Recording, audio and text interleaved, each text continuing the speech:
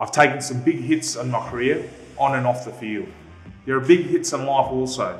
When you face challenges on the field, you have a strategy. Same goes for off the field.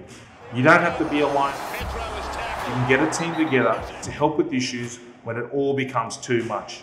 Look to the person inside you. Look to the person next to you. Because seeking help can be tough, but it doesn't have to be that way. Do you know a quarter of men would say they would not seek help for a mental health concern? It's time to have a tough conversation. It's about taking ownership of who you are as a person and making sure you get the right support in and around you so that when you do find tough times, just like on the footy field, you've got the right support there to get you through to those victories. Change your game plan. Tough guys do talk.